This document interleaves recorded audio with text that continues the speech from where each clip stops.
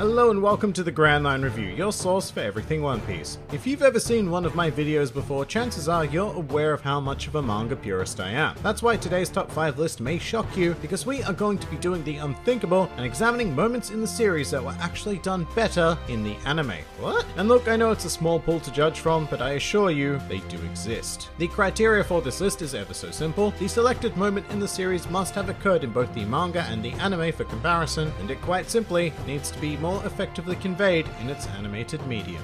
Easy as. So with that out of the way, let's begin.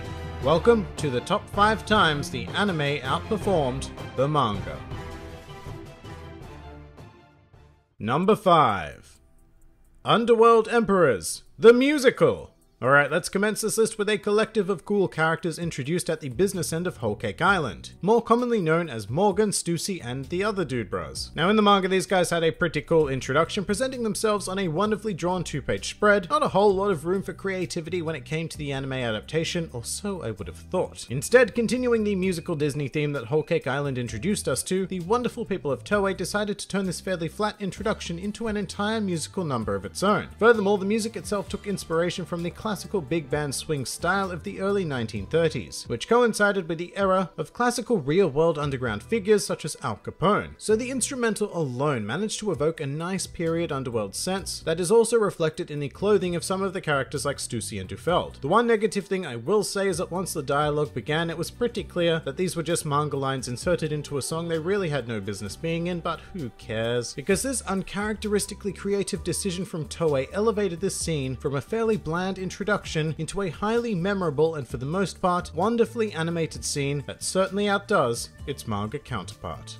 Number 4 Saint Charlos. Alright, this particular scene pops up a lot in relation to my top 5 lists, whether it be best punches or the most hated characters. But for good reason. It is a fantastically constructed moment in the series that stands out for a wide array of reasons. But in this particular case, the anime absolutely outdid itself. Arguably the greatest advantage the anime medium has over its manga counterpart is sound. Manga does its best to insert sound effects, and they do work quite well, but they do not compare to a well-crafted soundtrack. This scene works so damn well because of the journey the music takes us on. From the somber isolated moment with Hachi to the epic slow walk of Luffy towards Charlos, the anime soundtrack deserves almost 100% of the credit for pumping us up for the inevitable punch. And it didn't stop there, because in another bold move from Toei for the actual impact of the punch, they decided to remove all color, creating a very basic bright and stark environment, which when juxtaposed against the detailed dark and dingy auction house created maximum impact for Luffy's strike, and resulted in one of the most memorable scenes in the history of the series series.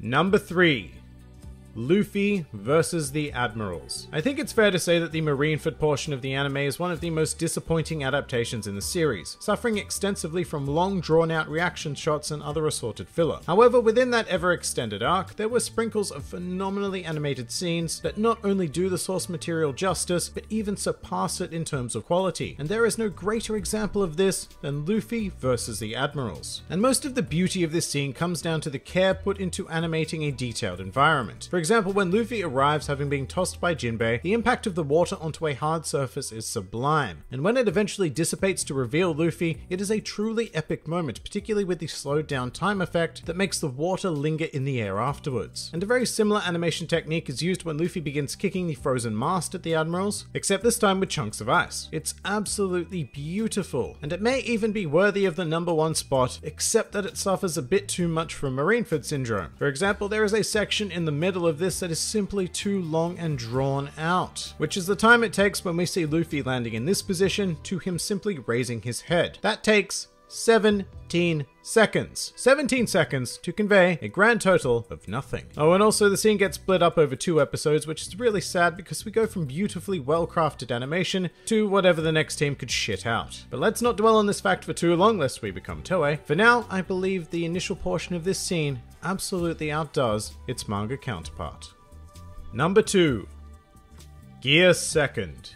When this moment first appeared in the manga, it was mind-blowing, and as a result, the anticipation for seeing it animated was pretty damn high, and it exceeded my expectations. And just to be clear, what I'm referring to is the advent of Gear 2nd as well as the ensuing fight against Blueno. Firstly, I thought that Luffy's colouring in Gear form was very well done by Toei, managing to find this wonderful tint of raw fleshy pink. But they also completely nailed how shiny Luffy's body becomes when using the technique. However, where they managed to exceed all expectations from me is rather simply how they conveyed the speed of Gear 2nd. Luffy's attacks came at a pace never before seen in the anime, and with the accompanying sound effects, it really makes you feel like these strikes are landing hard and fast. And the ridiculous thing is, the animation is far more simple than anything I've discussed on the list so far. What Toei managed to master in this scene is the art of pacing. Shots didn't linger, and so hard cuts became frequent, which went a long way to evoking the pure speed and impact of what was happening on screen. It is a near perfect adaptation that takes the source material and elevates it using all of the unique tools of the animated medium. If all of One Piece were adapted with the actual impact of the scene in mind like this, then it would undoubtedly be one of the greatest anime in all of history.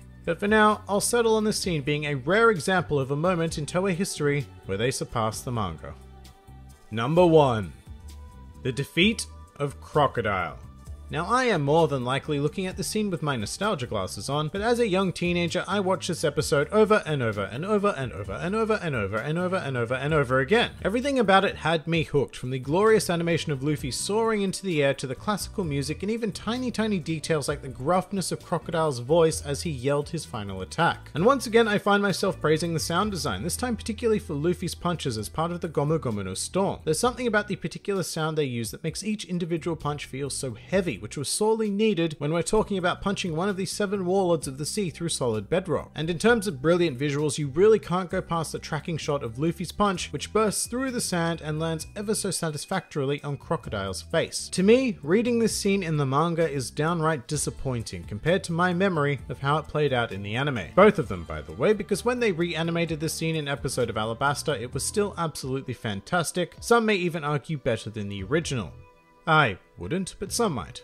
In either case, this scene is the epitome of what an anime adaptation should strive for, to take the structure of the source material and bring it to life. And that is why the defeat of Crocodile stands at the top of this list. That pretty much does it for the top 5 times the One Piece anime outperformed the manga. If you enjoyed this video then feel free to like, favorite or subscribe, and if you are in any way keen on supporting this independent channel then please do check out my Patreon, Discord server or Twitter, the links to which are in the handy description below. And finally, please do comment with your own chosen moments where the anime outdid the manga. This has been the Grand Line Review, and I'll see you next time.